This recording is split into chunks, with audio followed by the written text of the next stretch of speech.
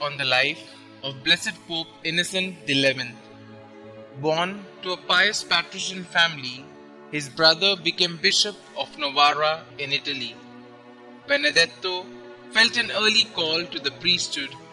He was educated by the Jesuits at Como in Italy and then he worked as an apprentice at his family's bank in Genoa in Italy when he was barely 15 years old. He studied law at Rome and Naples and then received his Doctor of Law degree in the year 1639. He was appointed Protonotary Apostolic to Pope Urban VIII.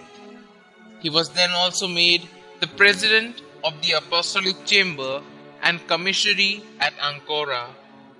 Later on, he was appointed as the Papal Administrator of Macerata and the Papal Financial Commissary at the Marches. He was also the Papal Legate to Ferrara in the year 1666 and part of the conclave of 1667 that chose Pope Clement IX. He stood against the meddling in church affairs by King Louis XIV of France. Louis tried to get back in papal favor by persecuting Protestants, but Pope Innocent immediately pleaded for a halt to the abuse.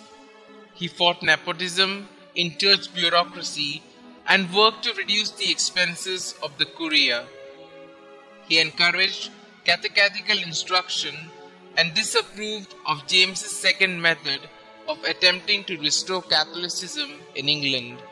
But it is not true that he supported William of Orange against the king. He also fought against Jansenism and the other heresies promoted by the Molinos. He encouraged daily communion, insisted on a high standard of education in the seminaries, condemned gambling, immodesty in dress, and laxism in moral theology.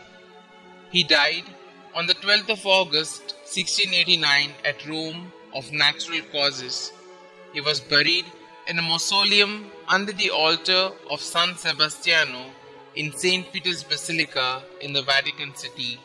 He was beatified by Pope Pius XII on the 7th of October 1956.